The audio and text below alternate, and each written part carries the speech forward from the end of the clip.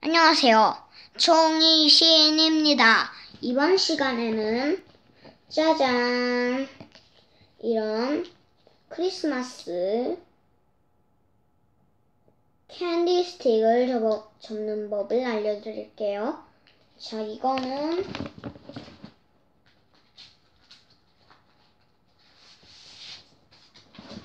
색종이 한 장과 풀이 있으면 접을 수 있고요.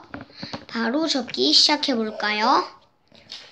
흰색이랑 빨간색 색종이를 준비해 주시고요. 흰색이 위로 가게 한 다음에 세모 접기를 해 주는데 약간 남기고 한 1cm 정도 남기고 접어주세요. 그리고 뒤집어서 한 요 정도 올려서 접어주세요. 그러면 흰색 부분이 약간 보이죠? 그리고 요만큼 얘를 잡고 한 번 더 올려서 접어주시고요. 또 한 번 올려접고 또 한 번 올려접고 또 한 번 올려접어주세요. 그러면 이런 모양이 됐죠? 그리고 이 부분을 이제 풀로 오, 뭐야 이거 한번 한번 한번 한번 했고 이 부분을 이제 풀로 붙여주세요.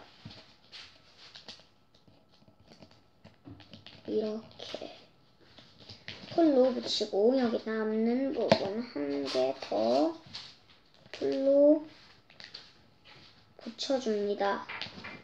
자 그리고 풀 뚜껑은 닫아주시고요. 자 그러면 이런 모양이 됐어요. 그리고 뒤집어서 여기 이 요 흰색 부분 따라서 이렇게 뒤로 접어주시고요. 그 다음에는 얘를 다시 앞으로 접어주세요. 그러면 이런 모양이 됐죠? 그리고 얘를 자꾸 떨어지려고 해서 풀로 붙여줄게요.